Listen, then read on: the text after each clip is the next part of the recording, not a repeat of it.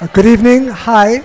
We're going to start in just uh, two minutes, but if you will take this moment to turn off your cell phones, that would be great. Okay? Would you do that? Thank you.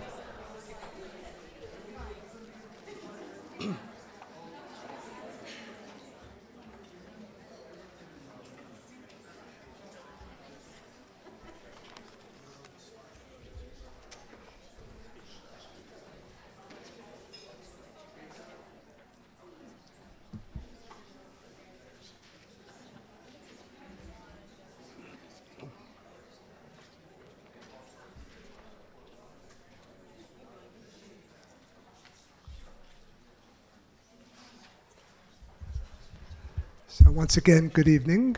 Um, in this evening's reading, uh, I'll introduce Nick Delbanco, and Howard Norman will introduce Francine Prose. The most recent books by Nick Delbanco are highly original nonfiction studies, one on the art of old age, the other on the art of prodigies who did their major work when young. Nick did a great deal of reading and research on his way to these recent books, but in truth, he is entirely equipped to write about these subjects on the basis of his own long and deep experience. Nick has been writing fiction, publishing fiction, for about a half century, and his early novels were celebrated as the work of a very young person, prodigiously gifted, promising, and already enormously accomplished. In these recent works, largely devoted to the exertions of other artists, Nick manages also to use himself as what to call it a case in point, an object lesson, a goad. He notes that when he published his first novel in 1966, he was 23 and enjoyed generous reviews, job offers, and even a film version of that first book. Clearly, as we would say, a success story. Though then the success would soon come to seem not merely decades, but a century, a millennium ago, as Nick puts it. Why? Because with his subsequent, more resolutely experimental novels, he became, this is a quote, a novelist more recognized than read. The point in this to note one of the ways in which the literary roads taken or not taken have a great many turns and byways. How to think about that? At least in part, Nick suggests, by acknowledging that success has what he calls gradations. The goal for the truly ambitious artist may well be the production of masterpieces, but then the goal may also well prove to be urgency excitement, a conviction that this life can be expressed in and celebrated by music, art, and literature. That conviction is everywhere discernible in the writing of Nick Delbanco, who really does believe that the thing, the essential thing, can be done and must be done. No shirking, no moves designed to show how impossible the task, how heavy the lifting.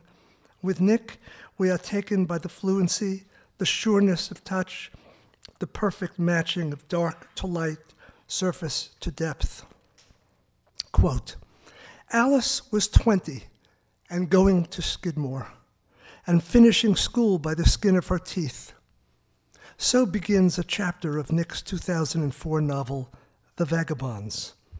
Quote, it was boring, boring, boring, and she hated her professor and how he was making them study the origin of the species and how dull it was. Dull, dull. The better word was blame. He was to blame for making them read it. Unquote. It may be that I respond so ardently to that passage because, well, because I am young Alice's professor here at Skidmore, making her read Darwin, and yes, boring her to distraction. Delicious to be put there in young Alice's head and to feel that surge of blame that takes her over. But then the passage is so adeptly orchestrated that you don't have to feel personally implicated to savor its quiet, exemplary virtues. Nothing in Nick's passage remotely boring or dull. Of course, there are writers and writers. You don't get from Lydia Davis what you get from Marilynne Robinson, goes without saying. With Nick, always you get fullness and efficiency, deftness and candor. Nick is characteristically tender with his people, and often surprisingly funny and elegantly aphoristic. Every now and then, in reading him, you catch yourself marveling at how much pleasure you take in observing how he does what he does, even as you engage with the action. Someone once said of another master that reading him was like riding along in a top quality car, only to find that after a mile or so, someone throws the steering wheel out of the window. You'll never feel the steering wheel has been thrown out the window when you're reading a Delbanco novel, but you'll know you're riding along in a top quality motor car and that its maker expects you to be savvy enough to delight in every aspect of the ride. Nick Delbanco.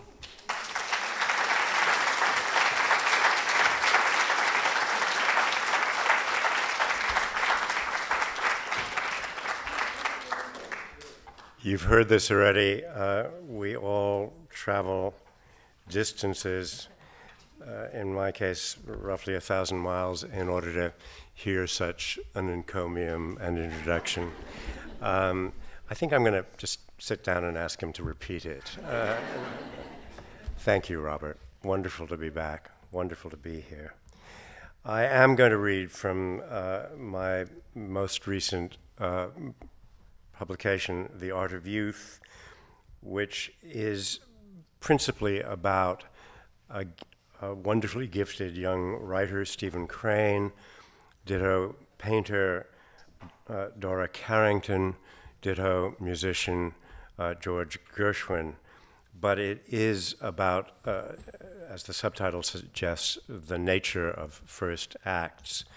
And I thought uh, this evening, because um, we are here in the presence of uh, those who are engaged in the first act, as well as those who are um, old hoofers, that I would um, uh, start with the, the, general condition, the general circumstance, uh, and then move to the particular, uh, which is my own. You have no reason to believe this, but I once was young and therefore can qualify um, as somebody who did, as Robert said, start rapidly out of the blocks.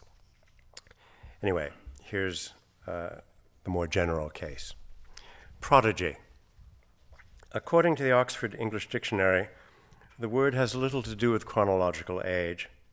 Its first definition is something extraordinary from which omens are drawn an omen, a portent. The next usage is an amazing or marvelous thing, especially something out of the ordinary course of nature, something abnormal or monstrous. Only a much later meaning associates that amazing or marvelous thing with youth, describing it as a person endowed with some quality which excites wonder, especially a child of precocious genius. The words precocity and prodigy share no etymological link. By now, uh, root. By now, however, we routinely link the two. A prodigy is youthful. The prodigy at 50 seems a contradiction in terms.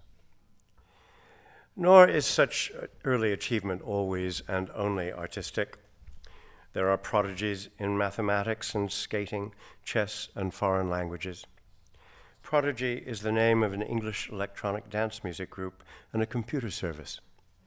To be prodigal, as in the prodigal son, is to be wasteful or extravagant.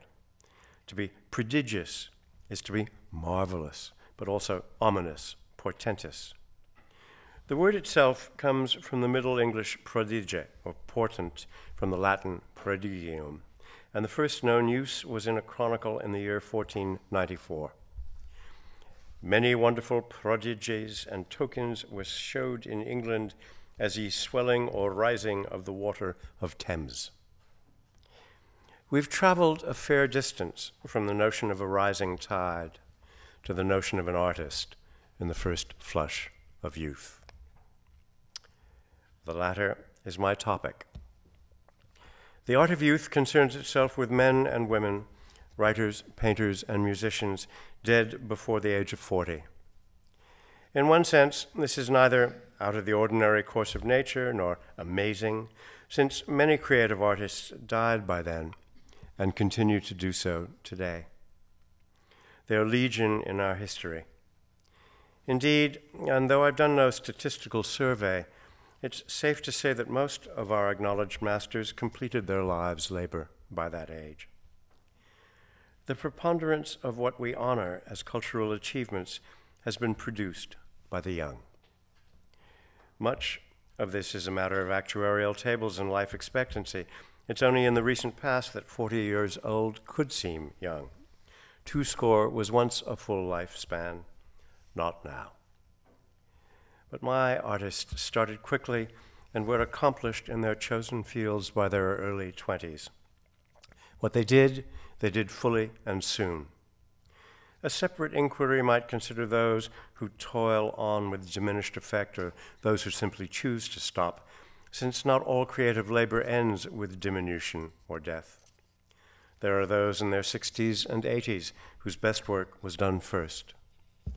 For the sake of coherence, however, I examine youthful figures whose talent was extinguished with their final breath.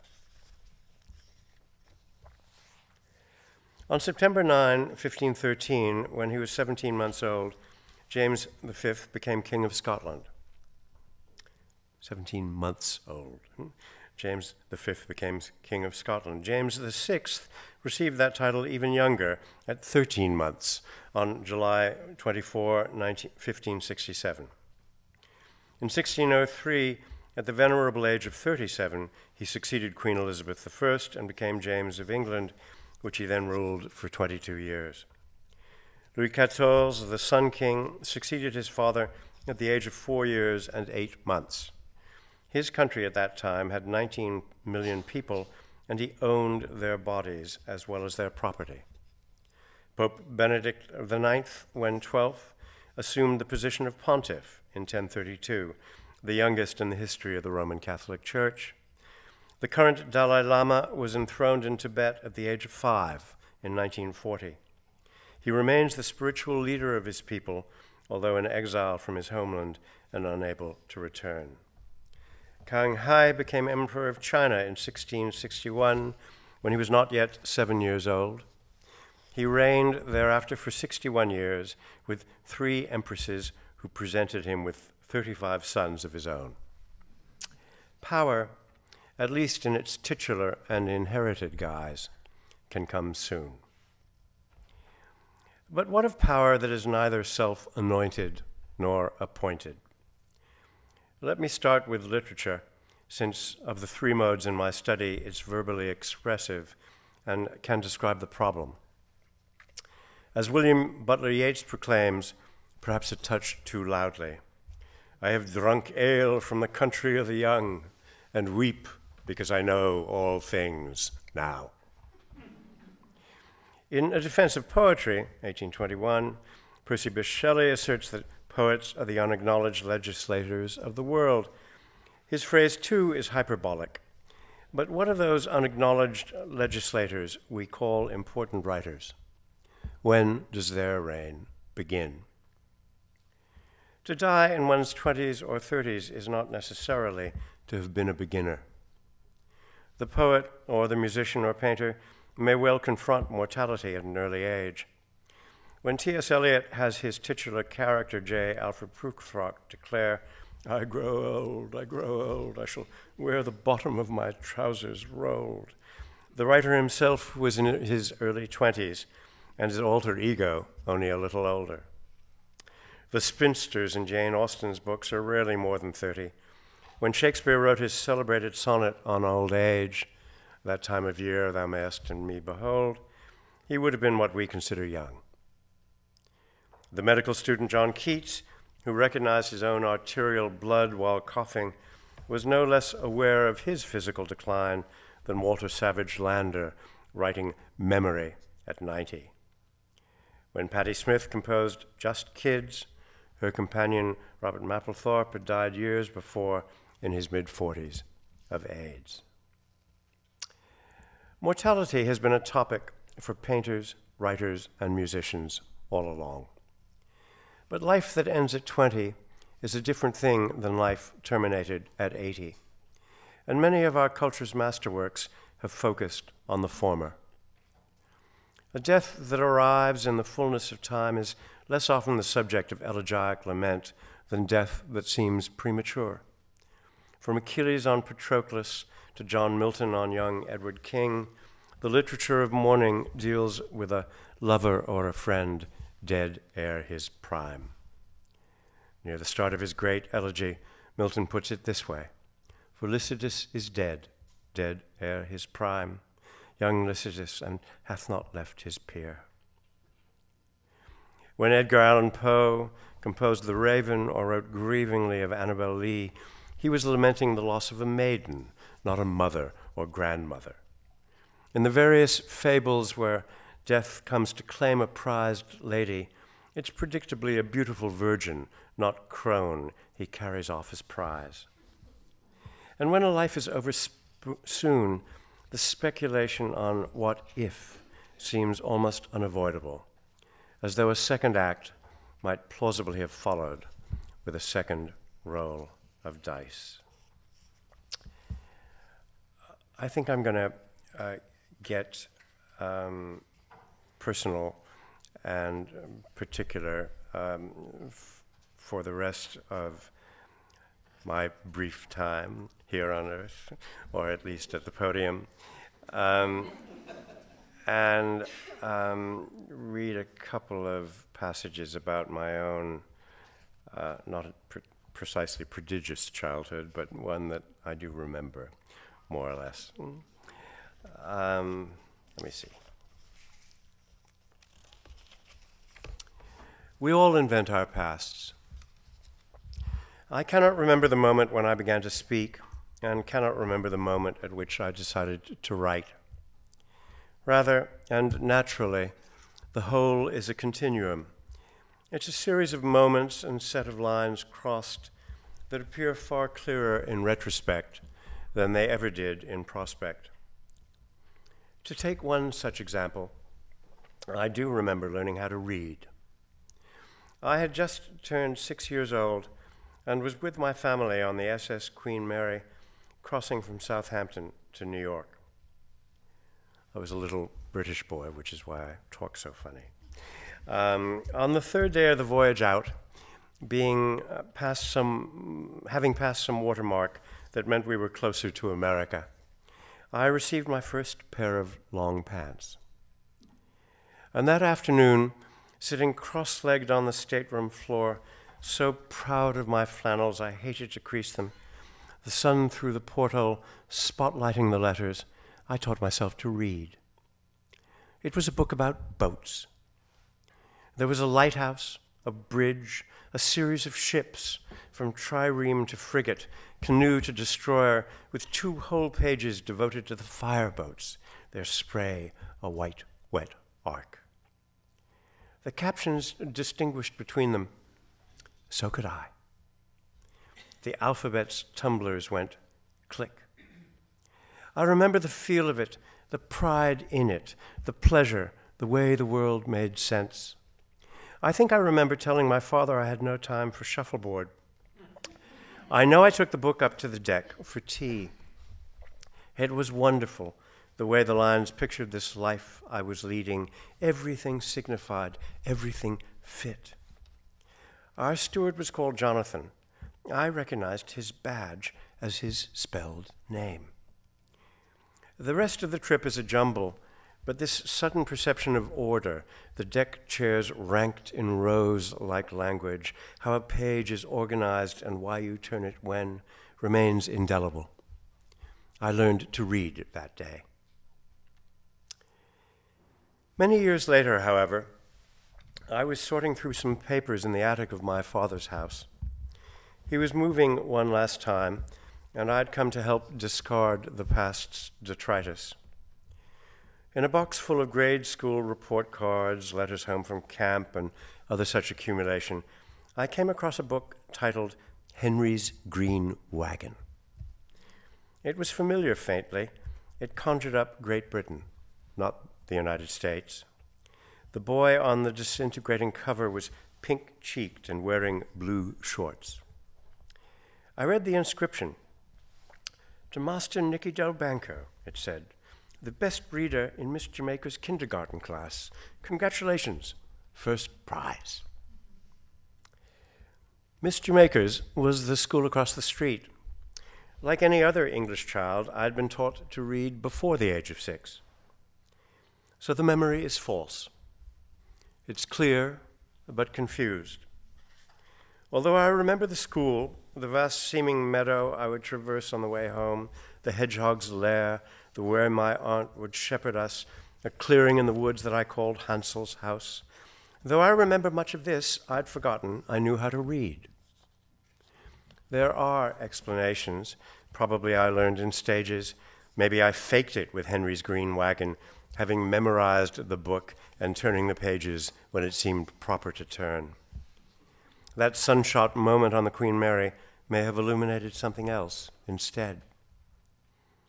The transatlantic crossing was a rite of passage, after all, and what I learned while sitting on the deck chair may not have been the alphabet.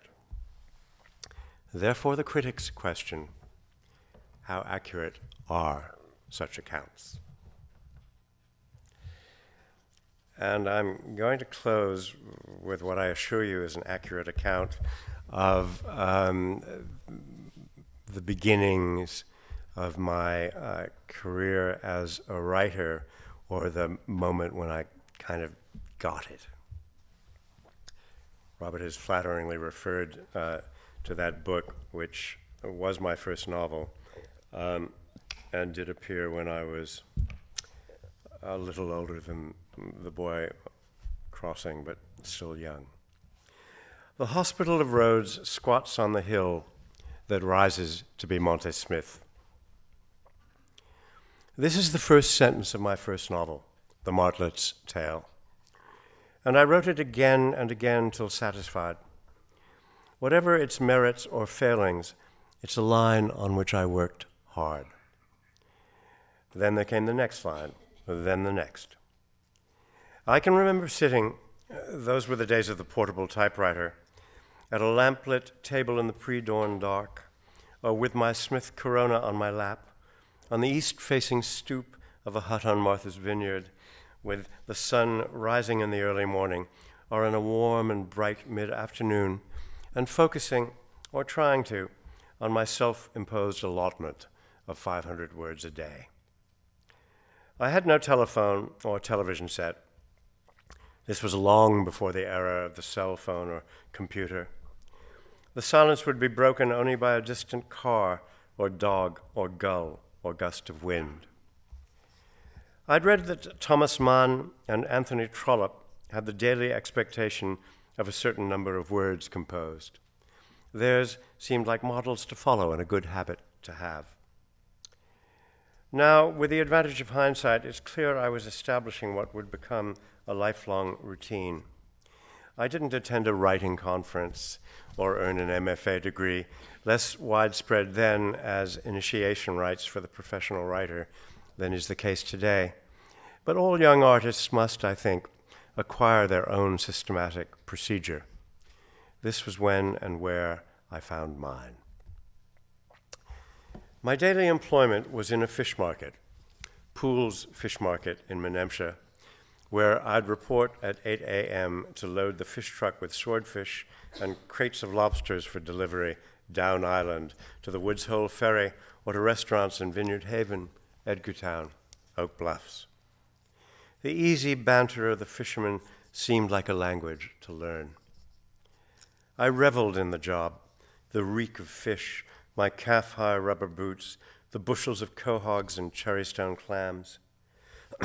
Taking the back roads of the island, wearing a green shirt with the logo Poole's stitched, stitched across its pocket, driving with the windows down to savor the inrushing mixture of air, pine needles and sea wrack and wood smoke, shifting gears and singing loudly to myself off key.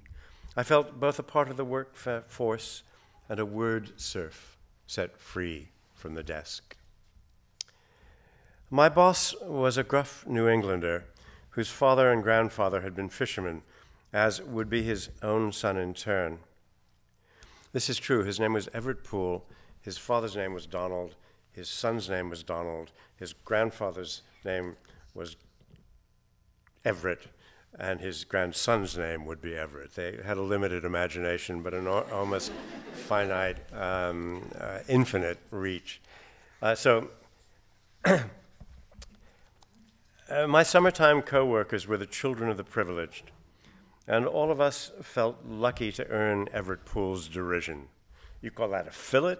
You call that floor clean? With his three stooges, me, this is true, and the sons of the dean of NYU and the president of Yale.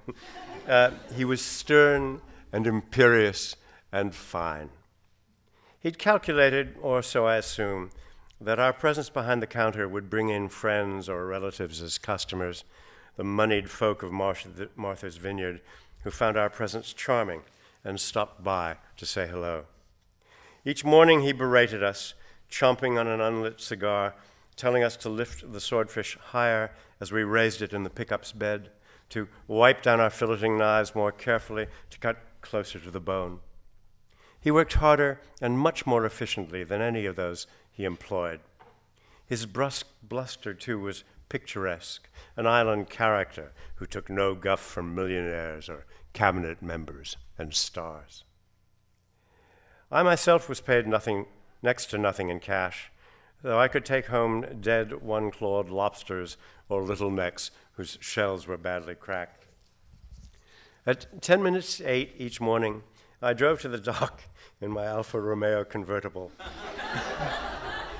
uh, then traded it for a broken down Dodge delivery truck with its loose clutch and battered tailgate, feeling as happy behind the one wheel as the other.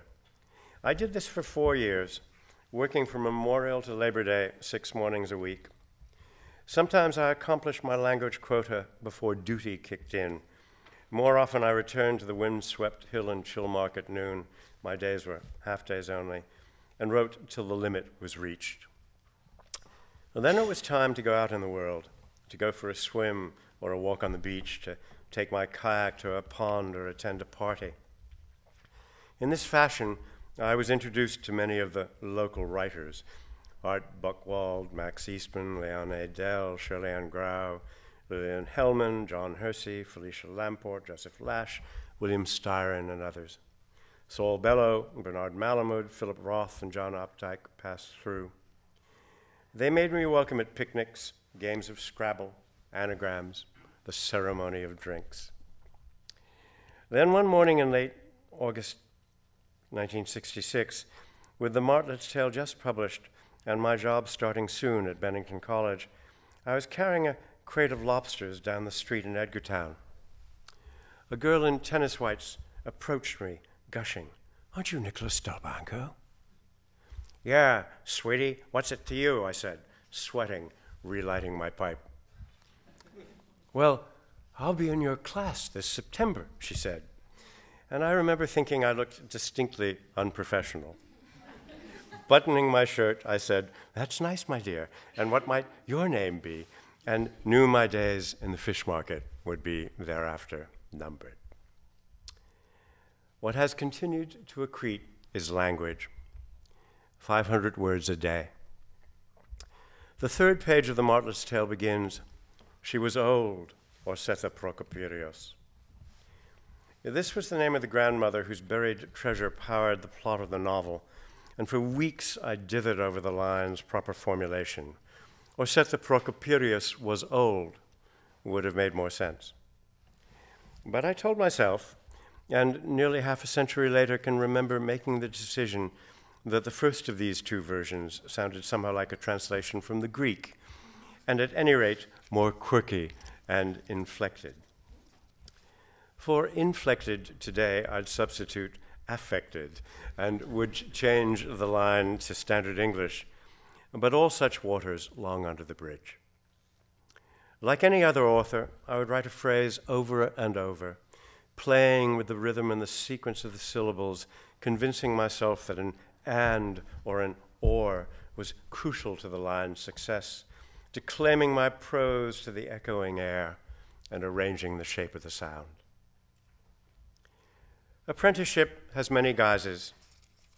I served mine out on a hilltop off the coast of Massachusetts in the mid 1960s.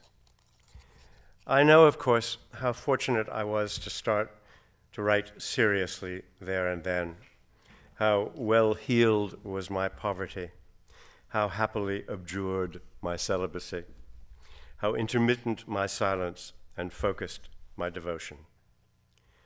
Born vineyarders would say that they were going to America when they took the ferry off island.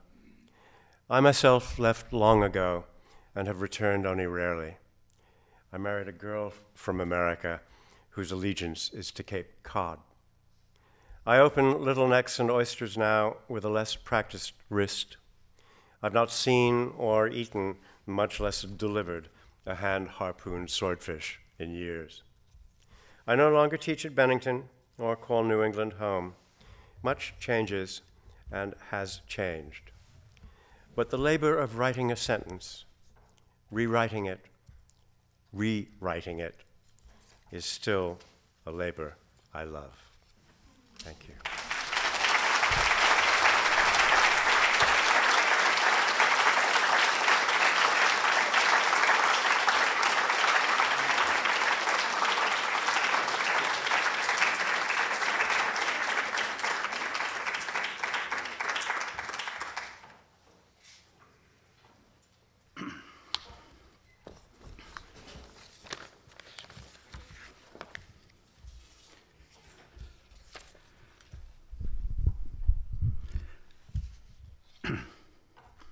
What does it mean to call a novel fearless?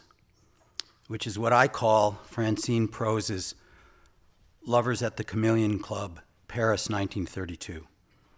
Edmund White, in his front page New York Times Sunday Book Review, attends to Francine's fearlessness as a creator of fictional characters when he writes Francine Prose is a subtle psychologist and compassionate humanist, but nevertheless, she has created a genuinely evil character in Lou Villars, a cross dressing French race car driver who collaborates with the Nazis and tortures resistance at Gestapo headquarters.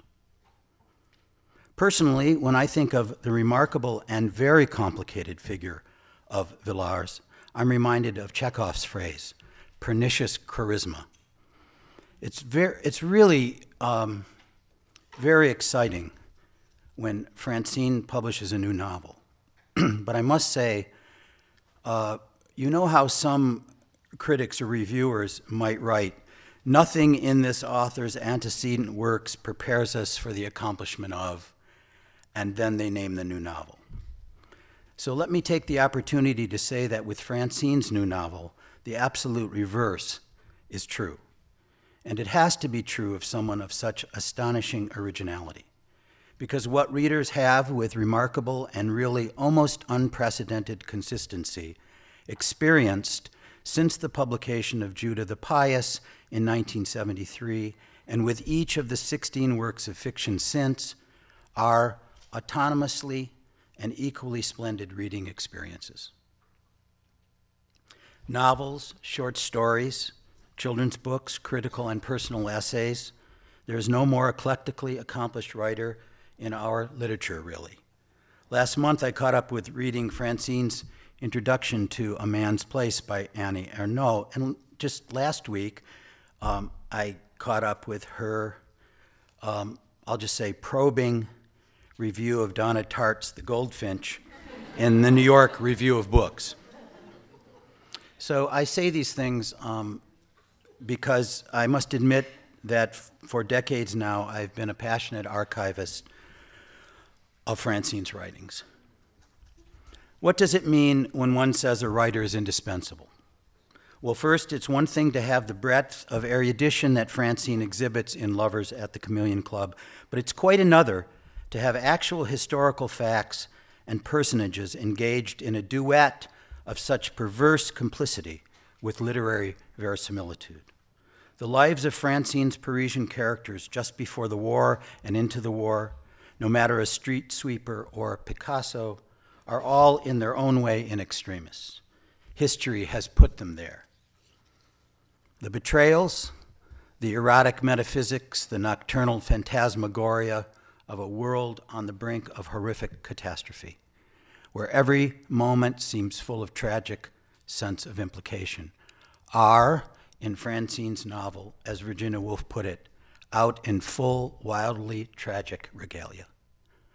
And I turn again to the word originality, because it means that a writer has an exacting imagination and the emotional and psychological dimensions of their writing always, in some way or another, intensifies and clarifies life in unforeseen ways.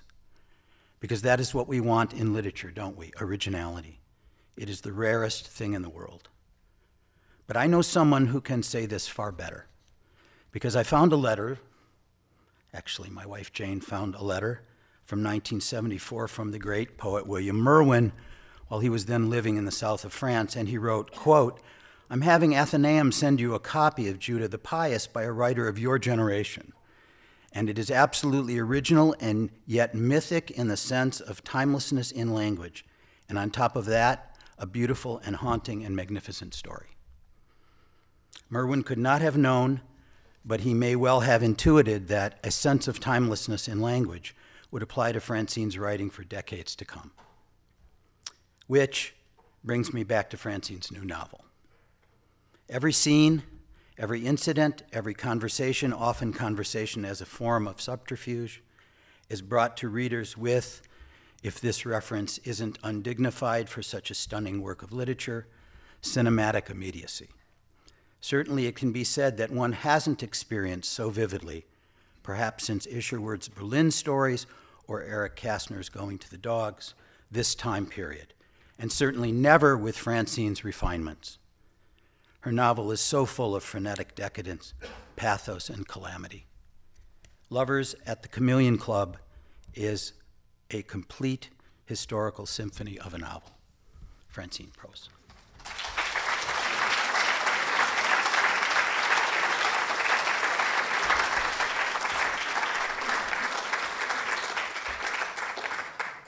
Oh my God.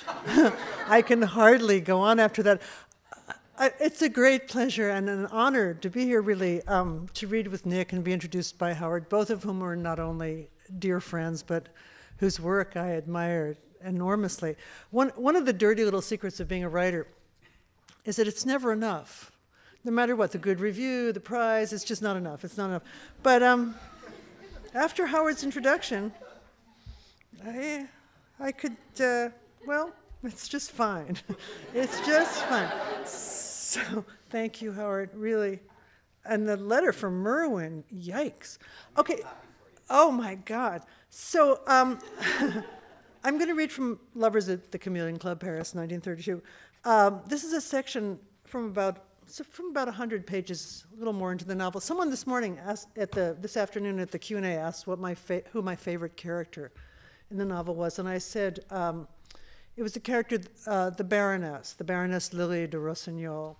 She's a um, art collector, a patron of the arts, a collector of photography. She's very rich. She's married to a um, manufacturer of luxury automobiles and race cars. And, and like practically everyone else in the book, she's at work on a written document. In her case, a memoir called A Baroness by Night. Um, and I'm going to read for this. Th- uh, even though it's even though it's well on in the novel, there's nothing really you need to know. The Chameleon Club is a um, It's a club for cross dressers in Paris, in, uh, in Montparnasse. From A Baroness by Night by Lily de Rossignol. Oh, I've made some cuts through here for reasons of length and time, so there'll be a few glitches, but hang in there. Through much of the 1930s, the Chameleon Club was my favorite night spot. I adored the clientele, the dancing, the costumes, and, for a while, the floor show. It provided a soothing antidote to the more stressful aspects of my life, among them my hopeless love for the photographer Gabor Tsenyi and a possibly related rough patch in my marriage to Denis Didi de Rossignol. It also offered a brief distraction from politics, history, and from the terrifying uncertainties of the moment in which we lived. Whenever I imagined to rise above my personal problems, it was hard not to notice that half of France was unemployed, that Hitler had seized power next door, that murderous gangs of extremist, extremist thugs were rampaging through our city. Because I counted so many talented artists and foreigners among my friends, I was alarmed, even repelled, by the rhetoric of the right. On the other hand, I feared that if the communists won and the upper class went under, so would my husband's auto business and all our employees. Though later the news out of Soviet Russia made me realize that Rossignol Motors would have done just fine selling cars to party officials. In an atmosphere so unsettled, one might think that something more was required to lighten our mood than a lively drag show, a noisy crowd, a room full of dancing same sex couples. But one can never predict, predict what will enable a person to get through the night. The Chameleon Club has had a long afterlife, more importantly, in Gabor's photos. It also appears in the cult classics written by our American friend Lionel Maine. I've seen it mentioned in books about the history of the period and popular culture in Paris. But unless you were there, you cannot understand why it was so beloved, why one felt so happy to stand in front of its door and whisper its well known secret password Police, open up. in part, what made the club such a haven was its power to make each person feel temporarily less alone. As someone who has always abhorred crowds, a horror I shared with Gabor, it wasn't the crush of dancers I enjoyed or the smoky air, nor the illusion of community, the shallow, unreliable reassurance of being together with strangers whom we want to believe are like us. What moved and gladdened me was that the club's popularity, its longevity, and its very existence seemed to prove that each of us leads a double life. When we say a double life, what do we think of first? The mousy government bureaucrat selling secrets to the enemy, the hired assassin masquerading as a country housewife. No, when we say a double life, we generally mean sex, bigamy, infidelity, an infinite continuum of so called kinks and perversions. The self who touches and is touched in the dark between the sheets is not the same self who gets up in the morning and goes out to buy coffee and croissants. Or anyway, so I was told. By the time I joined the resistance, I'd had considerable practice in secrecy and stealth. As with most people, my secret involved sex. But in my case, it was the lack of it that could never be mentioned. All through those years, in fact, until the early days of the occupation, I remained a virgin, even as I projected the world weary, jaded sophistication of a woman who has tried everything and experimented so freely that, with no new frontiers to cross, she is retired from her strenuous erotic explorations. I suppose the reason that I was assumed to be a degenerate libertine were the four years I'd spent in Hollywood in Paris, at least in the circles in which my brother in law Armand moved, that was the equivalent of 50 years in a brothel. California was where I'd met Didi, but no one ever suggested that it had corrupted him. Possibly you have seen me in the films of that era. I was the blonde in the scanty toga, shyly a, draping a wreath around the neck of the sweaty, muscular Christian climbing out of the gladiator pit. I was the prostitute cradling her baby in the doorway when the mad scientist dashes by en route to his demented experiments. I was the handmaid who catches the third of Salome's tossed off veils. Then, little by little, roll by roll, I faded back into the crowd. I was one of the cannibals fleeing the volcano that saves the explorer from being cooked and eaten. I was one of the Israelites fanning my arms in front of the golden calf, though not one of the dancing girls exuding guilt in close up after Moses' sermon. I was pretty enough, but not something enough to fight the riptide pulling me out to sea, in which the pretty extras drowned. Hollywood years are like dog years, and age is a funny thing. When I first met Gabor, he and I were the same age, but I was always older.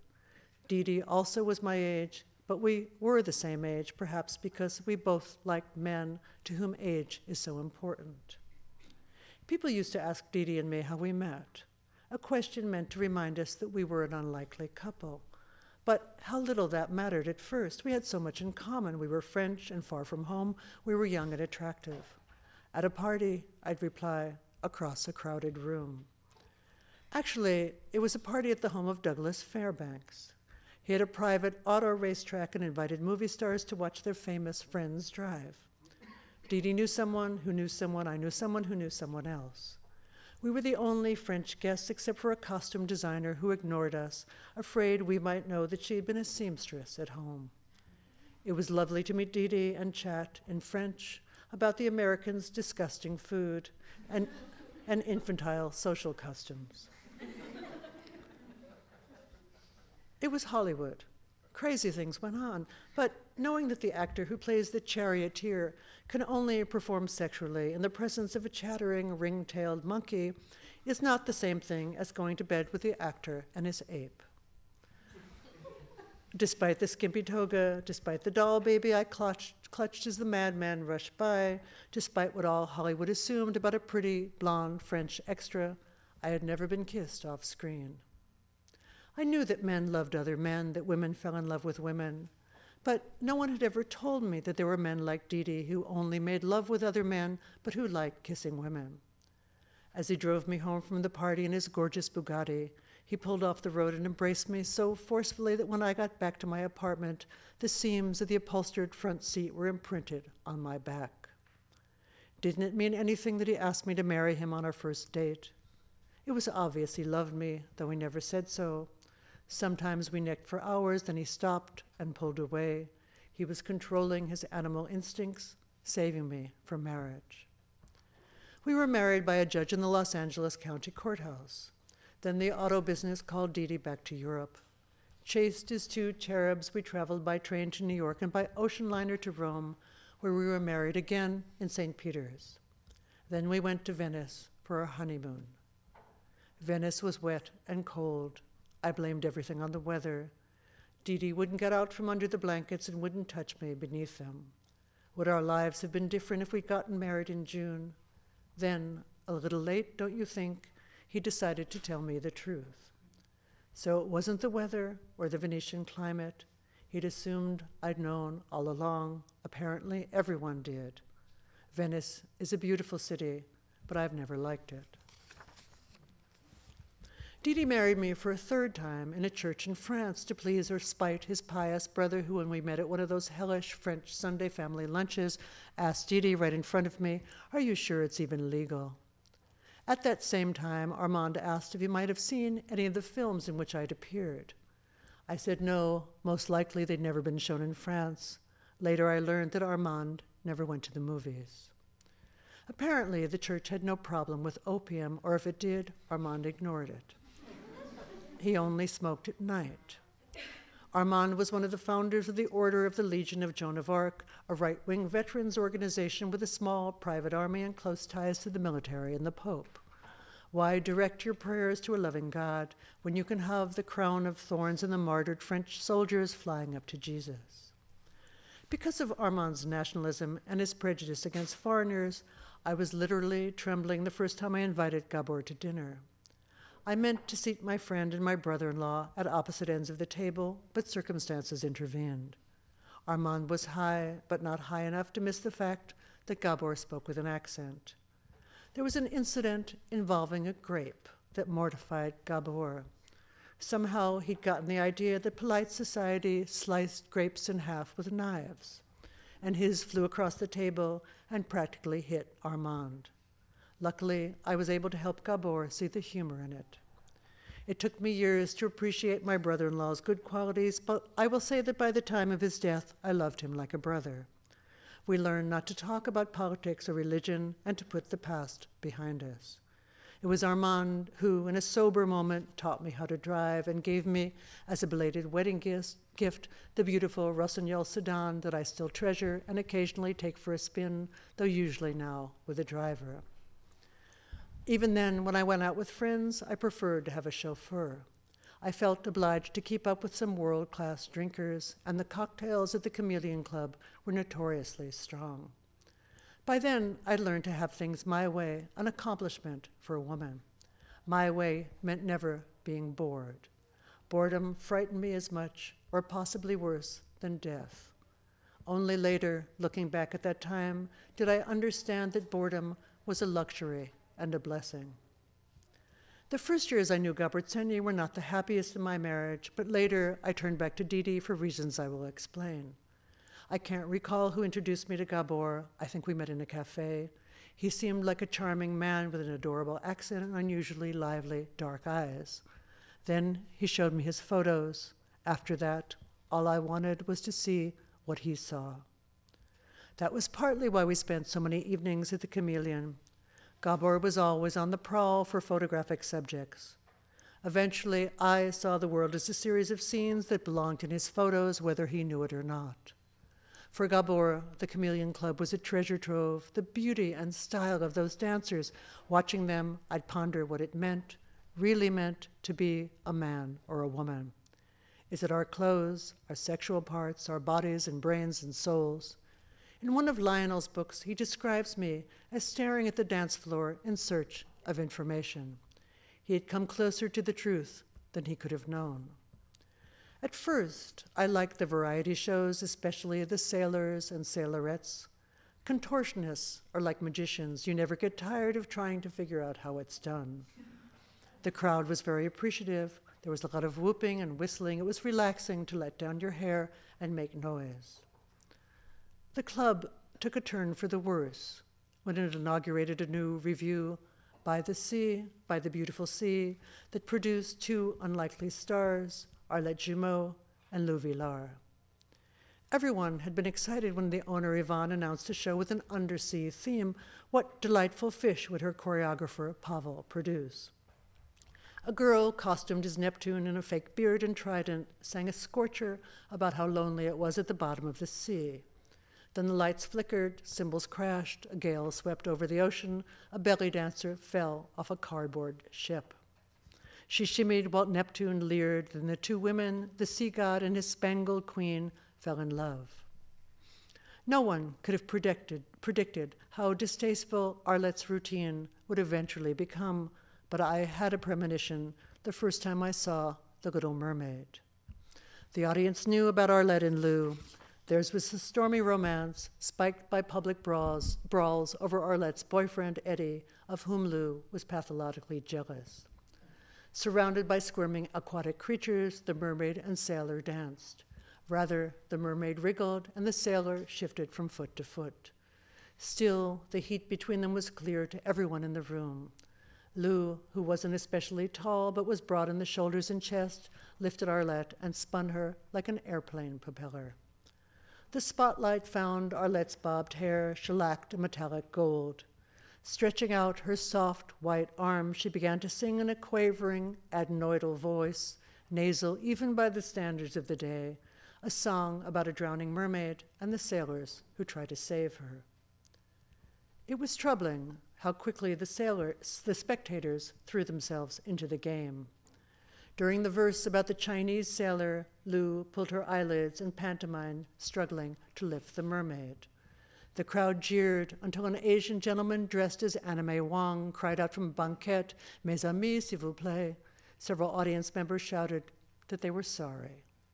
When the English sailor Lou donned a British Navy cap also failed, everyone laughed. From the wings, a bass voice growled the opening bars of Rule Britannia.